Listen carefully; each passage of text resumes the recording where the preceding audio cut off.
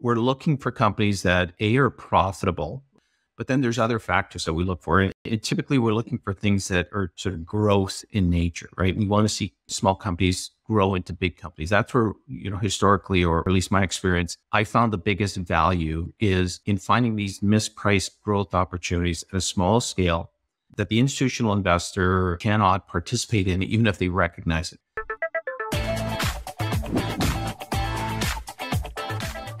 We spoke on the Millennial Investing podcast back in my first ever episode with TIP, and I've learned a heck of a lot about small caps since that interview.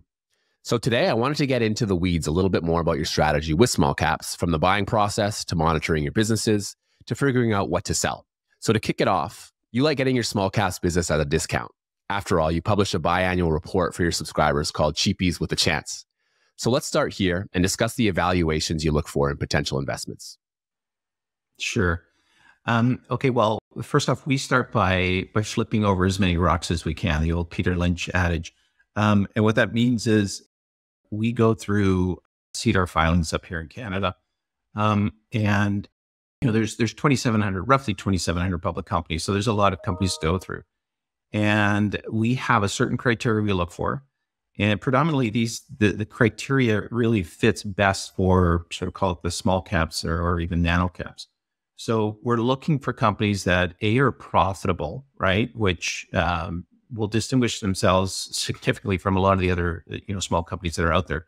But then there's other factors that we look for. And, and typically we're looking for things that are, are sort of growth in nature, right? We want to see small companies grow into big companies. That's where, you know, historically, or, or at least my experience, I found the biggest value is in finding these mispriced growth opportunities at a small scale that the institutional investor or, you know, sort of the, the call it the bigger investor cannot participate in, even if they recognize it, right?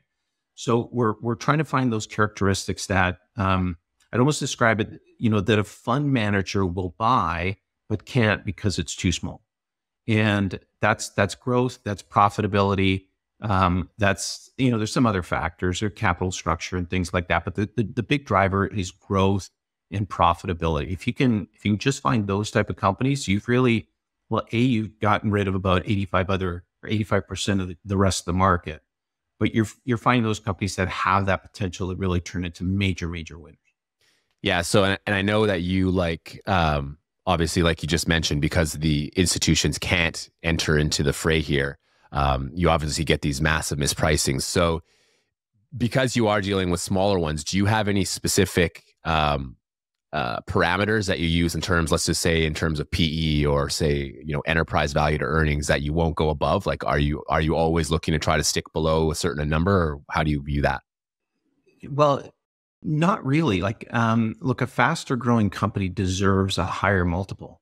So what we're really looking for is less, less, uh, sort of a, a defined number in terms of price, uh, to earnings we're looking for what we call a, a, peg ratio. So a lot of people would know what that is, a price earnings over growth ratio. So the faster growing company deserves a higher multiple, right? So I've, I've done very well buying, you know, stocks that are trading at 30, 40 times earnings.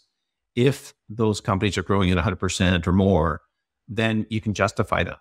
Um, and then there's companies that you, you could buy at eight times earnings that are declining in revenue, and I wouldn't touch those because that that's a melting ice cube as far as I'm concerned. So you, you you're you have to be a little bit more flexible, and and quite frankly, the good ones, you know, the hyper growing companies tend to get a higher valuation anyway if, if people are properly paying attention. So so yeah, I, I I use a peg ratio, which I can talk to if you want. That that that's really the driver in terms of what we think something's cheap or not. Yeah. Would you mind just going over a quick case study using the PEG ratio for the listeners to better understand it? Sure, sure. Um, well, I'll, I'll, I'll give you a real world example of a company that that uh, you know we you know we found call it mid last year in thermal energy. I think you might even know it. So um, here's a company that was growing at about 70, 80% a year. And um, when you looked at its earnings, you could model up pretty quickly to see it was trading at about 10 to 12 times earnings. So, you know, some might think 10 to 12 times earnings not super cheap, but when you when you uh, sort of layer in the fact that it was growing that fast, you've got a peg ratio that um, is sub one, like significantly sub one. Anything uh, below one is typically viewed as uh, inexpensive, and anything above one is considered expensive. So, so what you do with the PEG ratio, and there's two uh, variations of it. You take the rate of revenue growth. Well, okay, the the actual the the real version is you take the rate of earnings growth on a per share basis. So if if the company's earnings is growing at let's say 100% a year, it's doubling its earnings every year, and the stock is trading at 20 times earnings, you have a a 0.2 PEG ratio, right? Um, and that would be considered cheap. Now, what we do is we actually take a little bit even more conservative approach. We take a, uh, the revenue rate of growth and um, and then use that as the factor. So if we do that, what tends to happen is your earnings growth rate is usually leveraged, so it grows even faster than that. So if we can find something that's growing its revenues at 60% a year um, and you know trading at 20 times earnings, then we know we've got an extra buffer because likely that earnings is growing at 100 or 150% a year, right? So that's what we look for. And and because you know because we are we go through all the companies out there, we can sort of rank all the different companies against each other. And what we're trying to do, and this is what we do with the cheapest of the chance, is we're trying to find, you know, the best or the cheapest based on a peg ratio um, and then we add in the fact that if we can find something that's sub $50 million market cap, we know that it's even likely more mispriced or more, or, or call it less discovered. So that's that's what we do. And you know, you just described the cheapest of the chance. so I know that you uh, you just you just talked about how you like to go and look at every single business in Canada each year, and so I know um, in mid 2023, you said that the exact number was, I think, about 14% of the businesses in Canada were profitable. Um, now, I know you've done, I think you're working on one right now, so I'm not sure how far along you've come, but uh, can you share what number of Canadian businesses right now are profitable? Is it the same thing or is it higher, or lower? Yeah, so it's it's roughly the same. Um, it's it's been an interesting market over the last several years. What you know, typically what happens is when the market gets you know healthy and frothy, you get a whole bunch of new companies that come in, right? Companies that are, you know, a little bit more speculative. They're looking for capital. They're, you know, they're, they're newer businesses and they, they're not as likely to be profitable. So you, you start to get that number ballooning and the percentage of profitable companies actually goes down. Now, the, the flip side too, and kind of what we're seeing right now is some of the really good profitable companies are actually getting bought out. So, so that that's slightly driving the number down as well. But but historically, the number doesn't vary too much. So yeah, it's roughly the same as what we saw mid mid last year, around that call it 13 to 15 percent uh, of all the companies listed in Canada are profitable, and then we take a subset of that because we want to find profitable companies that are growing as well. Excellent. So one of the major issues that investors have with small caps is that many have very short histories from which to form conclusions. So to decrease risk, I think many investors just simply stay away from uh, microcaps specifically because of this factor. Um, from your history in small caps, what have you noted are the biggest risks to an investment going south, and how do you minimize the impacts of these investments?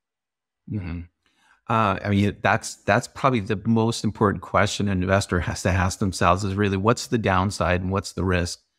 Um, so I, I, can talk about how we mitigate our risk uh, when we're buying you know the, these small companies. First off, uh, look if, if you're buying a profitable company, you've really really significantly de-risked that investment opportunity, right? The the I'd, I'd almost go back and say almost every major mistake I've made was uh, in in expecting too much of a company that wasn't profitable, right?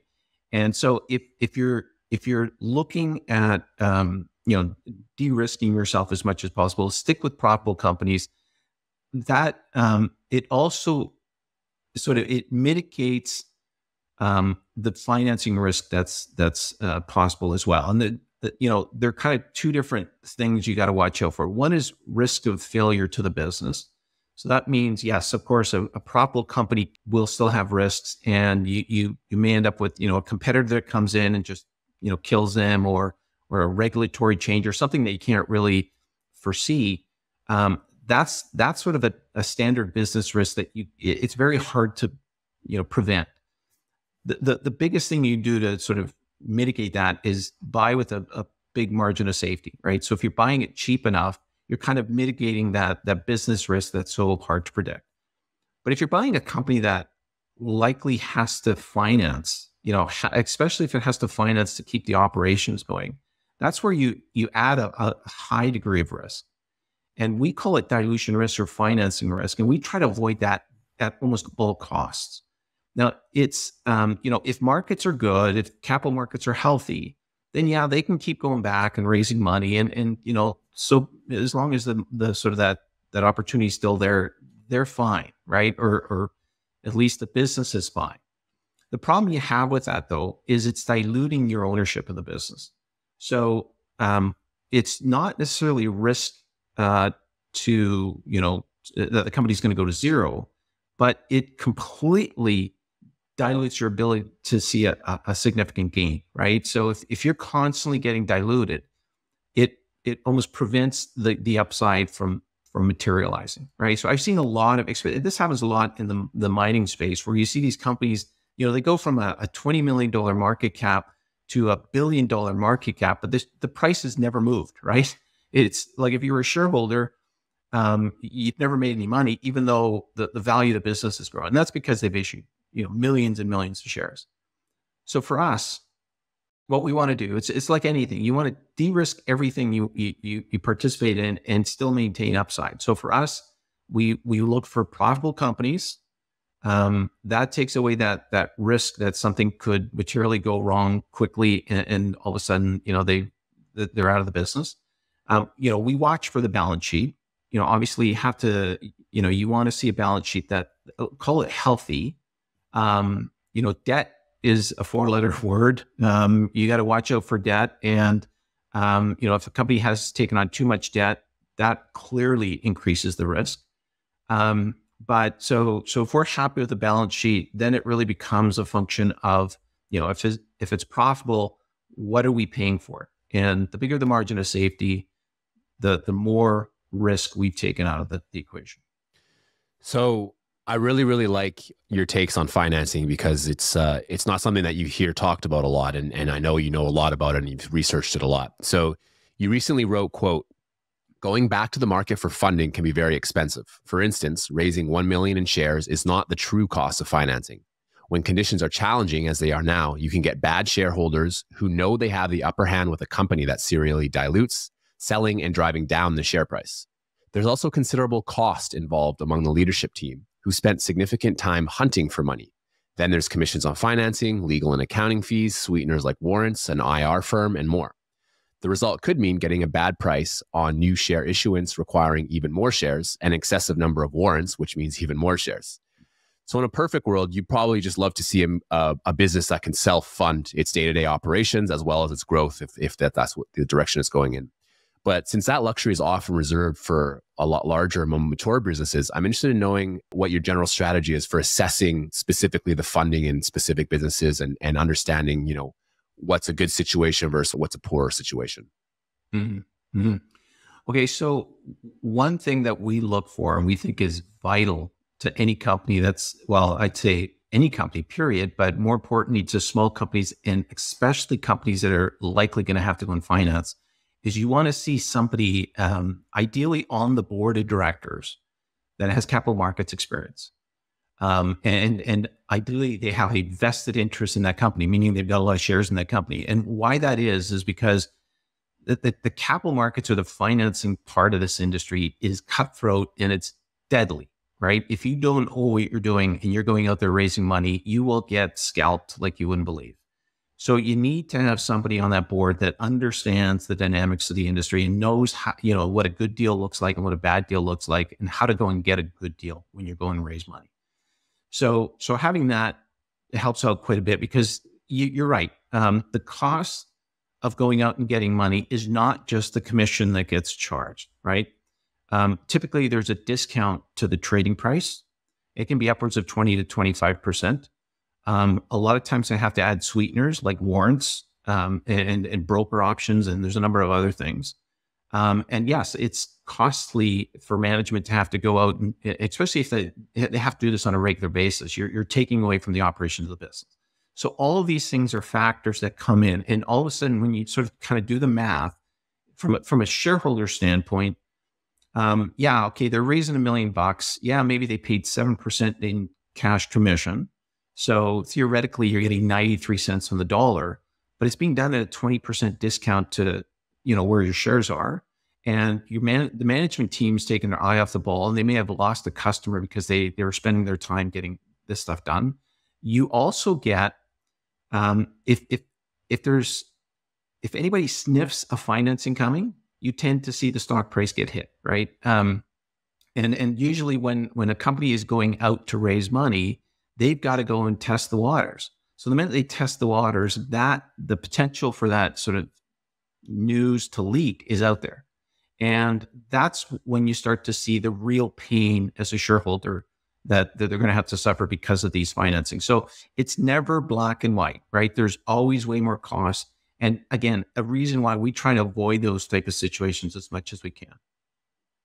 So one thing I've noticed with a lot of these nano caps is, you know, when they kind of when they're in their infancy and they're, you know, not profitable at all, they are going to the markets and issuing equity to to uh, to raise funds for their growth.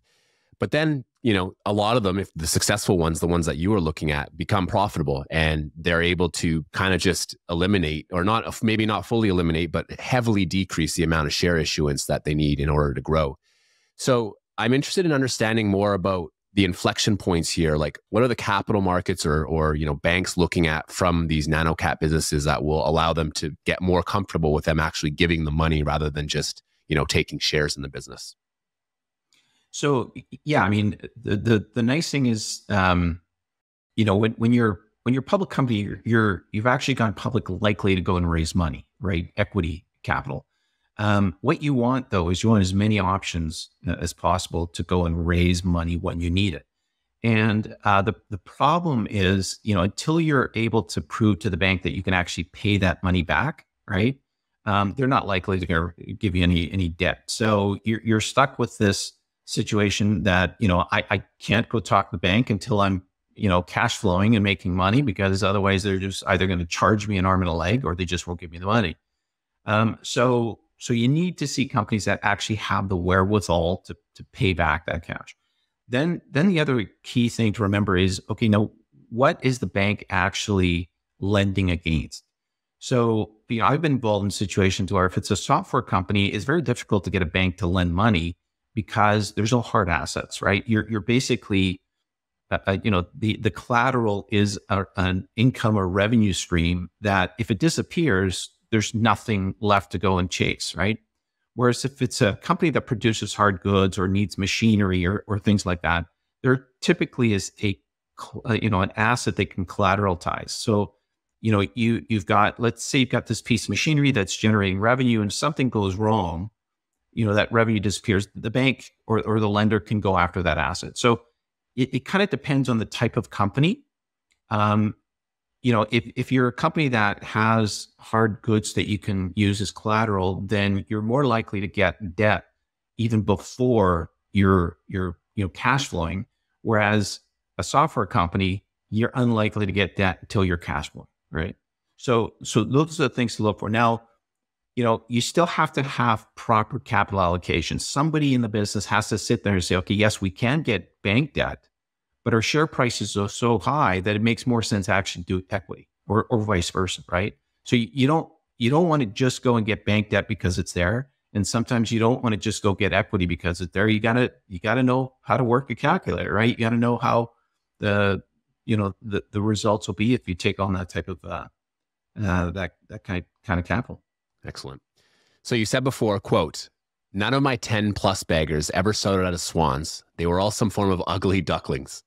Learn to love microcaps with fixable problems, unquote. So this is a, an awesome quote, and it's some, somewhat at odds with what Warren Buffett famously said, that which is, uh, you know, turn around, seldom turn. So I'm interested in mm-hmm. learning more about what potential problems microcaps face that you think are the easiest and most value accretive uh, problems for shareholders and you know mm-hmm. people in management to solve. Mm-hmm. I mean, I I never like to say I'm uh, disagreeing with Warren Buffett. I you know but but actually, I think so. So um, so you know, we don't actually buy a lot of turnarounds, right? We we buy companies that have something wrong with them, but typically it's something wrong with the optics or maybe even the capital market side of things, right? So um, I'm not a huge fan of turnarounds. I'm a huge fan of companies that have hit, you know, maybe they've they've struggled over time, but they've actually fixed that thing. And now they've hit that inflection point. Um, most of my, you know, swans um, were companies that you know had to really, really struggle for a period of time, and then somehow found something, and it clicked, and things started to go. Um, like I can go back and all my major wins. Um, I, I know they had some struggles, right? Um, so, so we're actually looking for things that are more optics, right? So why is this company not trading properly? Why is it not trading the valuation it should? And it's usually, you know, maybe they have extremely poor IR, right? Maybe they have a balance sheet that looks ugly because of some of the legacy issues, but their income statement is fantastic, right? Um, maybe they've had to change management and now this new management has, you know, righted the ship. Those are things that all, you know, they're all great, but they they show up in the financials. They show up in that sort of criteria that we look for. And yeah, you might say they they they basically have already gone through their turnaround. And now we're just able to buy, you know, at a discounted price because the market hasn't figured that out yet. You know, th- there's there's a, a, friend of mine's got um, you know, Manoj Sudan has got this term he uses. Um, uh, it, it's information arbitrage, right? we just found that information before somebody else did, and we can put it in place and put a value to it. I like that.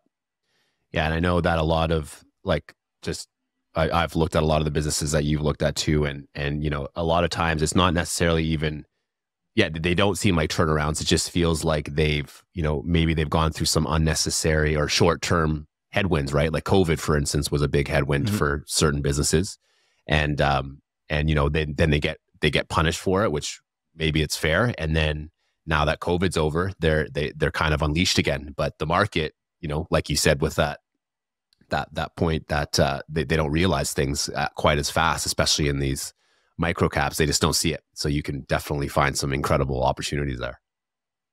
Exactly. Exactly. That, That's exactly what we look for is that, you know, companies that were sort of wrongly put in the penalty box, we, you know, we try to identify when they're coming out. And we we jump on it as soon as we can. So, in our first chat, you discussed averaging up and you really emphasized how much you love doing it. One of the examples that you used was Bowflex, which is now Nautilus, um, as an example that you should have been buying even more of, even as the price increased. So, for some value investors listening, they might be horrified by the concept of increasing their cost basis on a stock. But I'm interested in getting a better understanding of when and why averaging makes sense for you. How do you get started with stock investing? I've put together a course to teach you everything I wish I knew when I first started investing in stocks.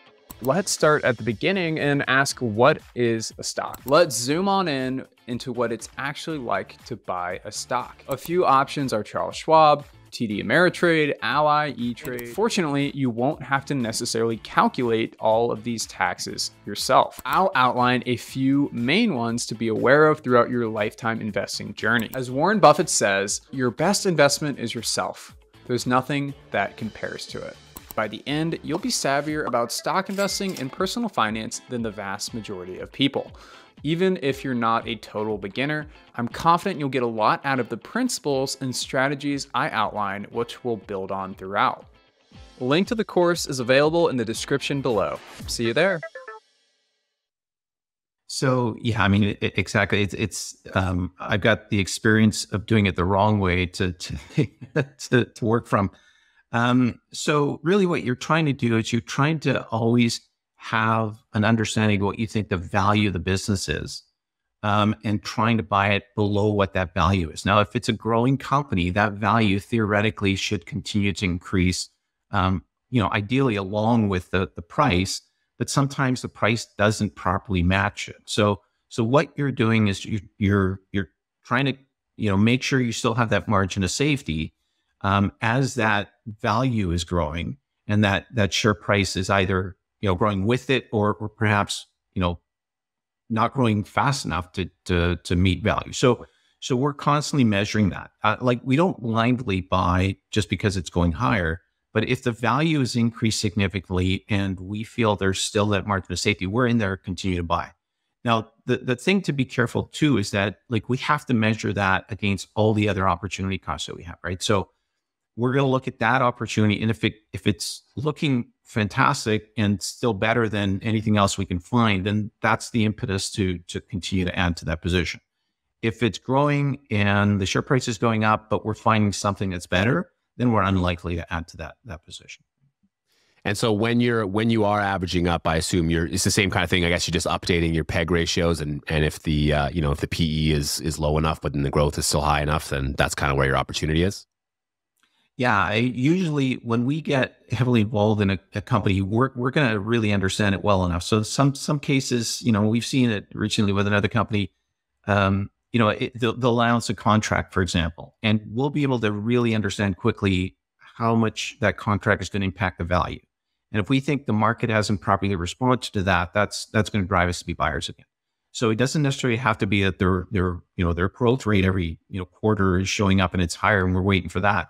We'll see other you know potential value drivers that we're going to jump on. And, and a big part is because we understand the business so much and we know that look if they land a two million dollar contract, what kind of what kind of impact should that have on value, right? That's what we do. We really get under the the hood and understand what's driving it and and you know, buy when we think it makes sense. And what's the most you'll average up by cost basis in one position as a percentage of your entire portfolio?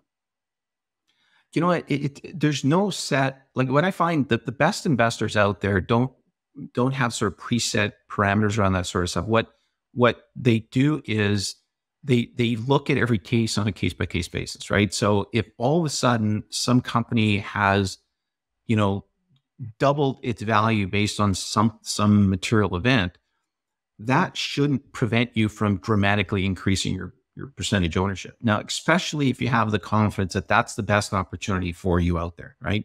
Again, the the exercise that we go through of looking at so many companies gives us comfort that we're you know ideally buying the best four or five opportunities that we think we can get our hands on. And if there's a change in you know, the value of that business, it shouldn't have, well, based on my experience, it shouldn't have that much of a difference in terms of what you decide to do with it in your portfolio. That that that what's it called? A recency bias or or agency bias. No, that's not agency bias. But you know, because you own five percent of that company or five percent in your portfolio, if all of a sudden it's the the most obvious opportunity for you, you have to go and increase your position in a material way. You can't sit there and say, no, I already own my 5%. I can't, I can't buy any more based on, on that rule. It's just like the best investors in the world don't do that. I mean, again, Warren Buffett, I mean, there's so many examples of him in, in that adage, you know, when it rains gold, you don't put out a thimble, you take out a wheelbarrow or a bucket or whatever you want. Yeah. So I know that you aren't a huge fan of uh, averaging down in the majority of circumstances. You wrote a really good analogy why that is. Quote, if you personally lent someone money and they only repaid you half of what they owed you, would you give that person more money? Of course not. Yet we continually do this with our investing where we average down into things that have a history of disappointing us, unquote. Since many of the businesses that you look at are often overlooked for extended periods of time, it would seem that averaging down can sometimes make sense if the business is increasing value at a quick rate, but the price has decreased. So I just love to have your thoughts on averaging down and when you think it is, it does make sense. Yeah, you're right. We we we rarely average down, right? Um, now we do try to get to know these companies as as well as we can, and th- there's really two distinctions, right? There's a value, and then there's a price, right? So the value, we try to understand the value as much as we can, right? So if for some you know arbitrary reason the price goes down, yet the value has not changed, you know, we see that from time to time for different reasons. You know, an institution has to sell, or some investor has to sell, maybe even an insider has to exercise options or sell for whatever personal reasons. When we see that, sometimes there's a negative sort of uh, sentiment towards the company, and we try to balance or, or understand um, does it make sense? And if it doesn't, then that's a that's a case where we might look at it a little bit differently and say, okay, yeah, the share price is down um, it does make sense to buy it here. The value hasn't changed. In some cases, the value has improved, and yet we're seeing downturn because of circumstances that not reflect in the business. That's when we'll look at something like that. But if it's just down on price and we can't substantiate, um, you know, the value, if like if if the value has gone down as well along with the price, then quite frankly, we actually start looking at selling rather than looking at adding to our position. we can go and buy something else, right? That's always the driver. We're going to go and find something that just gives us more confidence and gives us what we're looking for. So as Charlie Munger once said, quote, I've always believed that nothing was worth an infinite price. So now I'm looking more here at what what you're going to do with something that you've already held that's gone up in price a lot. So my question for you is: At what point are you thinking it's time to sell a position based purely on evaluation decisions? So I mean, we talked about the PEG ratio before, right? So that's um, usually if if you know when we look at a company in isolation, it becomes uh, there's two reasons to sell. One is uh, the valuation actually has exceeded sort of that PEG ratio, you know, that one then then it becomes almost becomes an automatic sell. Or if the the, the business itself is is broken down. So let, let's say all of a sudden it stops growing, right? Um, or or there's a material event that uh, that we think is is you know destroying value or or impeding value. That that automatically makes us a seller. But quite honestly, the the of the biggest reason we tend to sell uh, something is because there's something else that's much more compelling, right? So yes, this stock maybe is trading at a 0.9 of PEG ratio. It's not perfectly valued. It's, you know, it's gone up and we're happy and all that sort of stuff. But now we're finding another one that's trading at 0.2 times PEG ratio. And, it, and, and it's less discovered and a whole host of things that we look for then it becomes uh, a, a, situation where we can say, okay, we're going to start allocating capital from here and start moving it over here. So that, that tends to be the biggest driver of our sales. Um, again, it, it's it's handy to be able to look at everything because it, it everything in investing uh, is really a function of opportunity cost, and that's a big big function of it right there. Absolutely. And so I'm also interested. So obviously, a lot of these companies that you might get, let's say using this example you just used, when it gets to a 0.9 peg ratio, it might still be doing really, really well, and you know the fundamentals mm-hmm. might be going at, at, at, a good pace. So because of that, are you usually um, fully exiting positions? Like you know, once it hits something and, and you have another use for the money, are you just fully exiting, or do you usually like to leave a little bit in there to let it keep running? Or I'd love to know your ideas on that. Yeah, so it, it's it's pretty rare that we fully exit. Um, like again, if something goes wrong, right? Yeah, we're we're looking to fully exit as fast as we can. But if they're still is still sort of executing, they're still creating value. Um, all the right things are still there, and it's just a function of valuation. Then um, it's less urgent to sell, right? We're we're a little bit more patient the, the thing you have to factor in too is the whole idea of taxes, right? Because if you're if you're going to turn over, then then you get tax consequences, and that that actually mitigates your, gain. So holding a good long term winner that that gives you confidence and you have conviction in, um, it pays to hold on a longer time there, even if it's fairly valued, right? So so that that those are all considerations that we have to to use, but we rarely sell our whole position when something goes wrong partly because, you know, if it's grown to a sizable amount, it may be very difficult to sell that and redeploy all that capital all at once anyway. So you're, you're better off sort of slowly selling off. And then look, I mean, it, it's, it's like, it's like, I don't know if it's like the children or your wife or something like that. You, you, you don't never, you never want to give up on them. like kind of, they've done the right thing. You don't necessarily want to give up on them. It's, uh, it, it's, it's, that conviction is important. You've come to understand that business. Therefore, the, the new opportunity has to be very, very compelling to be willing to give up all that that sort of comfort and that need. So I'm interested in knowing more about your strategy when a business decreases in growth. So we talked about when it's, you know, it's, st- it's still going good, but now let's look at when something decreases in growth. So let's go through a quick hypothetical. A business meets your stringent criteria for entry into your portfolio. It had a few good quarters of profitability, growing well above 25% in you know revenue and per share earnings. And you averaged up to let's say a, a high single digit percent of your portfolio by cost basis. But now growth has slowed. What needs to happen to get the alarm bells kind of ringing that are telling you to sell or to wait longer? Um, yeah, just interested in knowing what you would do in that scenario. Yeah, so so it depends on how how much it's changed, right? If it's gone from, you know, 60% growth to, to 30%, we may not, we may not sell it at all. It might, you know, might still justify owning it.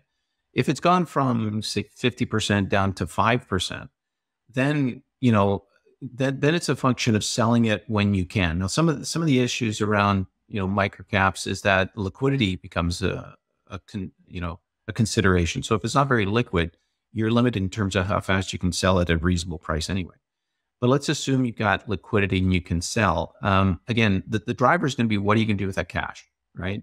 Um, is is there is there still a margin of safety in owning it right now? Probably or probably not. And that, that I, that's going to be the other thing that's going to decide if if the stock still looks real cheap, even though the, the the growth rate has come down as much, then I'm not as anxious to sell uh, unless I've got that other opportunity. So so much goes back to what can I do with with the resulting cash, and that, that'll determine how fast I'm going to sell this. Thing.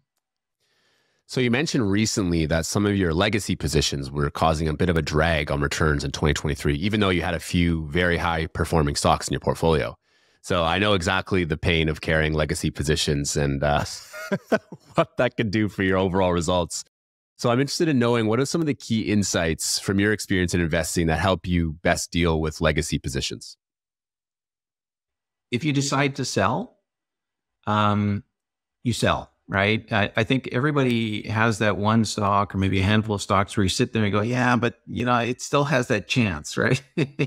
what if I just wait a little bit longer?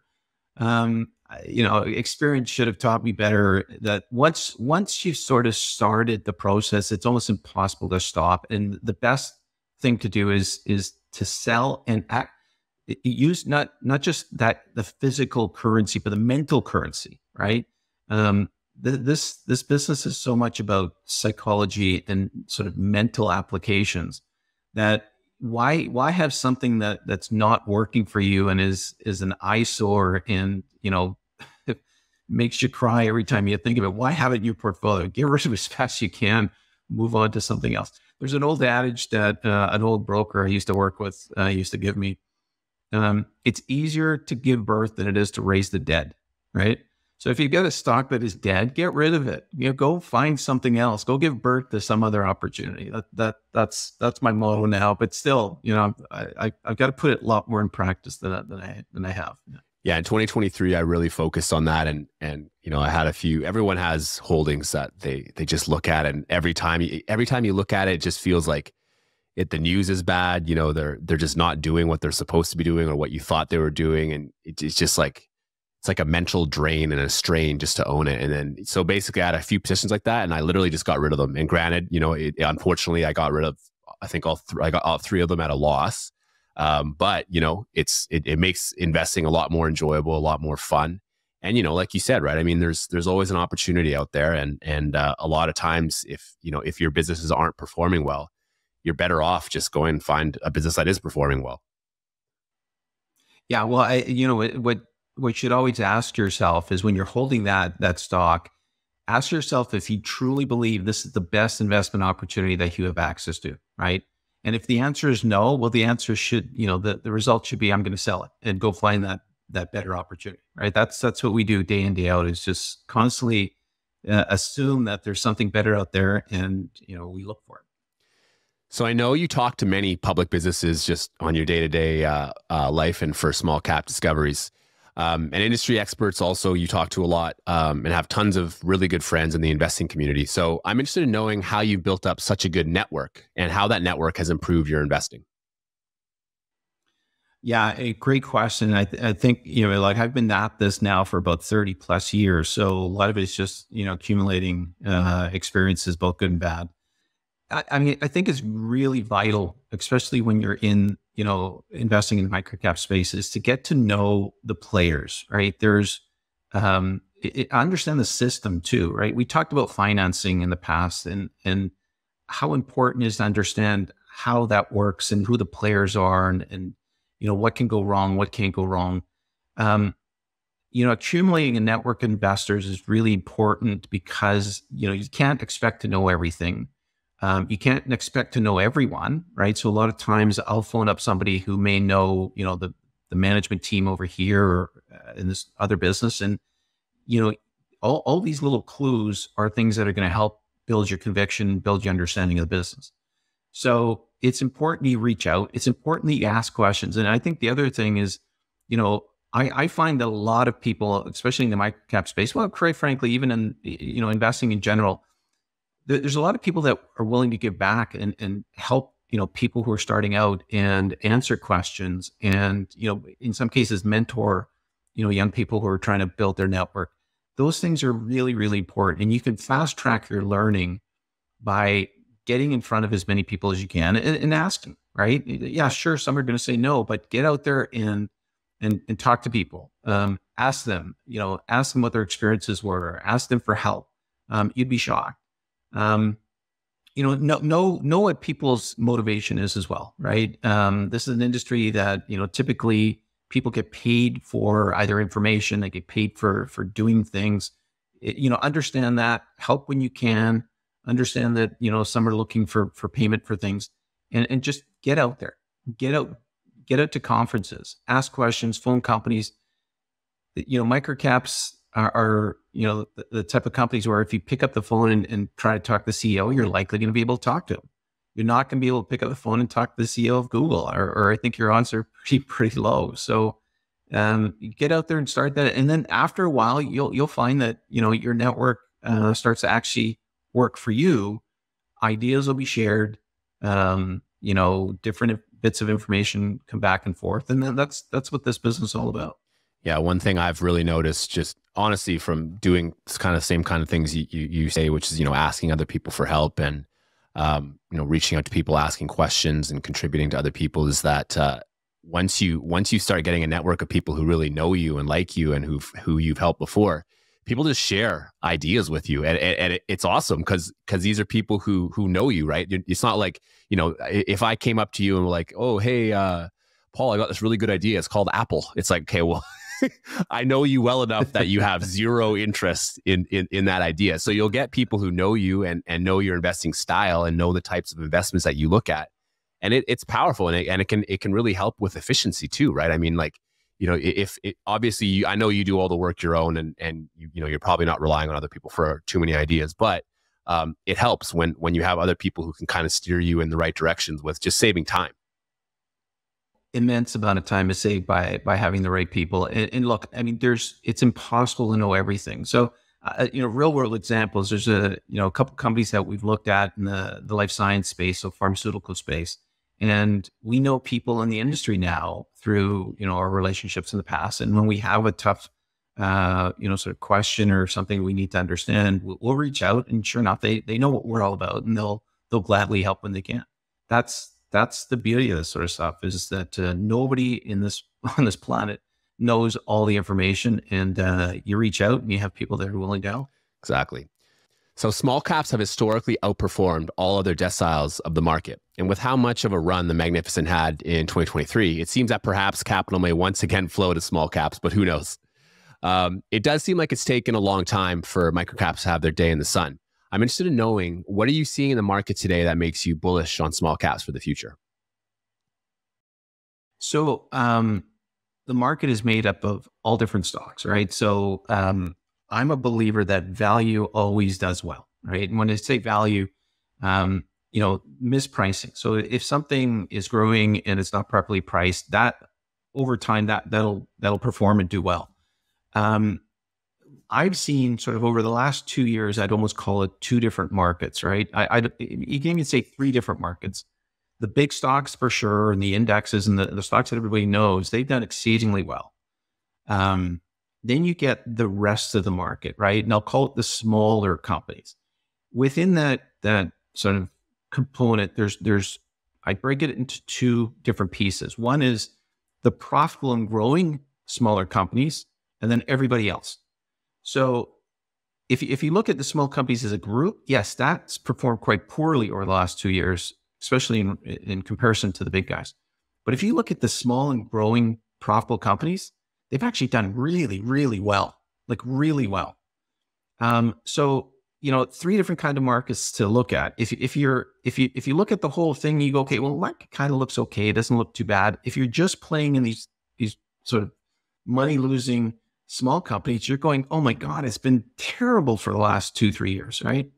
But then if you're that other sandbox that that I love to play in, you know, we've had a fantastic year last year. As a matter of fact, we've had two fantastic years when everybody else has been complaining about the, the small companies. So now going forward, what I think is interesting is that more and more people are starting to figure it out, right? We're, we're starting to see a little bit more sort of bigger capital come down market, and they're starting to distinguish between those two sort of smaller markets. Um, the the the small companies that we look at that are profitable and growing, they're not as cheap as they used to be, right? So we're not finding as many, you know, no-brainer opportunities as we did two years ago. So that means capital is coming in, but it's nowhere near the kind of capital we've seen in prior sort of bull markets for small companies. So I think there's a tremendous upside for these small and growing uh, microcap companies because that institutional capital is just starting to trickle down market right now. And when it does, you get a really euphoric bull market. Now, the other market, that money losing market, now, you know, I know the industry. Institution, you know, institutional players and investment bankers need to eat, right? And they have to go and generate uh, uh, revenue for themselves. And the way they do that is through financings. So I do think you're going to start to see, you know, the last two years, there's been absolutely almost zero IPOs and financings, but you're going to start to see that resurge, in my opinion. So I think you're going to start to see the whole smaller market is actually going to do significantly better than it's done the last two years. I think the you know profitable and growing companies are going to continue to do very well because of that capital coming down market.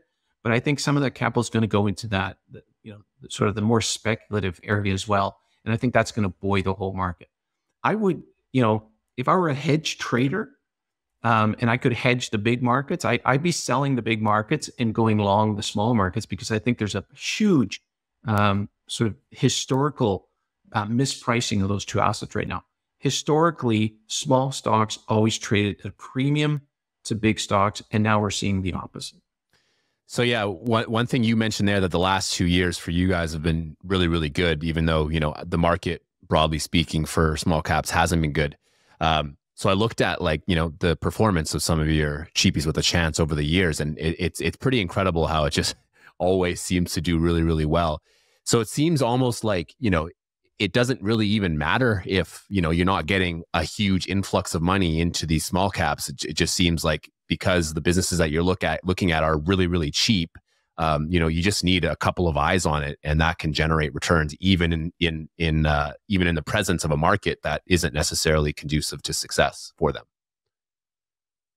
Well, okay, so a couple things to unwind, right? Um, institutional investors, typically in Canada, they they look at companies, you know, at the earliest stage, usually about fifty million dollar market cap, right?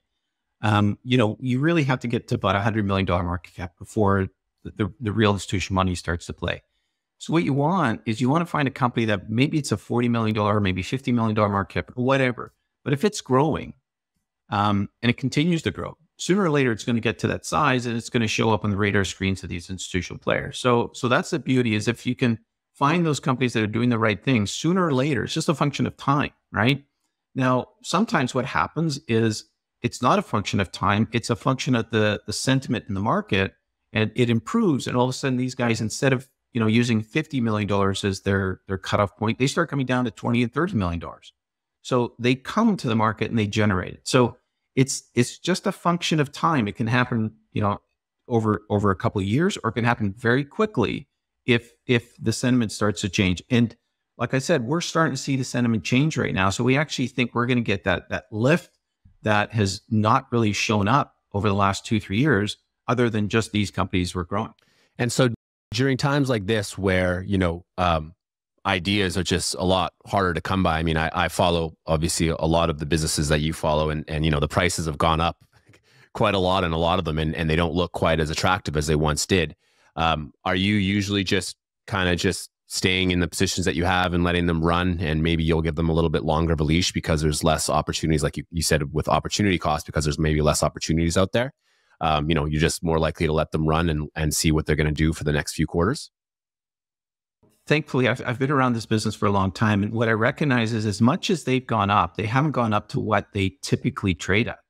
So, you know, we, we, you know, we look at these businesses and yes, they've done well. In some cases, they've doubled or tripled in, in the span of the last year, but they're still not close to where their valuation should be in a normal market, right? So, like when the, the other thing I learned very early on in my career is that, especially in Canada, the institutional capital that's out there really drives the markets, right? It, it is, it's not the retail market, it's the institutional capital. And there's a massive amount of institutional capital out there.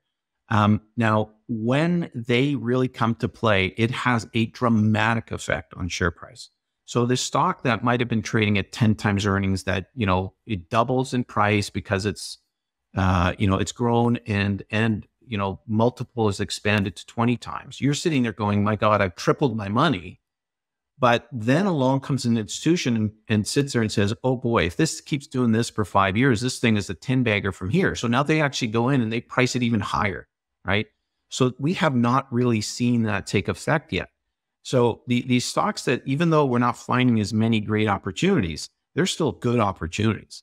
When that institutional capital comes down, you're going to see another we, we call it a, a another discovery uh, point in the discovery cycle. And that institutional discovery cycle is the most um, impactful and the, the fastest driver of change in share price that you can imagine. So, yes, we sort of complain that we're not seeing as many good opportunities, but the opportunities we have, we're still highly convicted that that institutional capital, when it comes down, it's going to have a material impact on share price. And that that institutional discovery process that we, that you just discussed, um, is there like a general duration that that lasts for, or is it just basically completely dependent on you know market forces and there's too many variables to think about?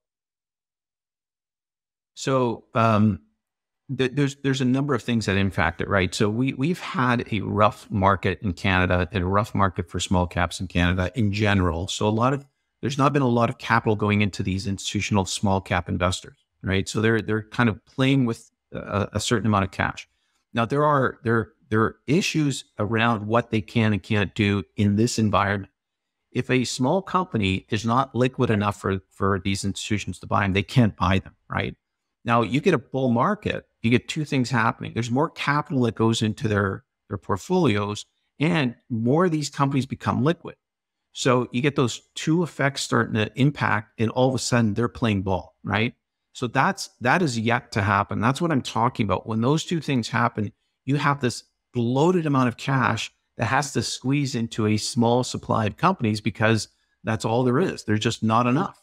There was a time when we did a little bit of a study and there were more small cap funds in Canada than there were companies that they're qualified to buy, right? So you have this weird dynamic that as soon as a company hit a certain inflection point and was doing the right things, you had like 20 of these funds would jump in all at once. And of course, that would drive the share price like crazy.